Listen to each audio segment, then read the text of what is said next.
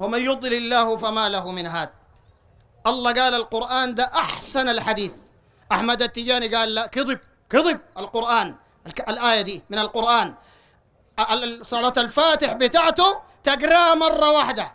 زي قريت القرآن كامل ستة ألف مرة. صلاة نجرة من راسه.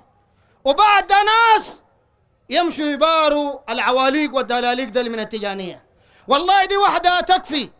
لبيان وزندقة وكفر العقيدة التجانية الصوفية في السودان وفي كل العالم.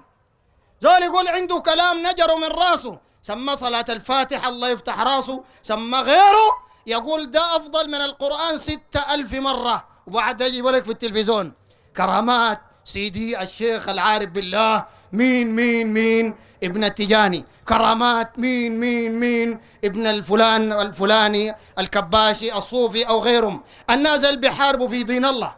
الصوفية بيحاربوا في دين الله. ألا فليبلغ الشاهد الغايب الصوفية بيحاربوا الإسلام.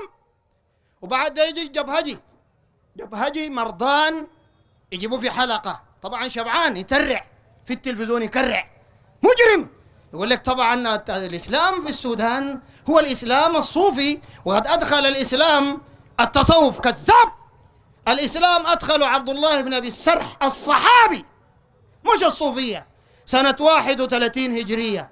وأول صوفي داعية شرك وضلال دخل البلد دي سنة 985 تقريبا. وهو الشيخ تاج الدين البوهاري شيخ الطريقة القادرية القادري الجا من بغداد.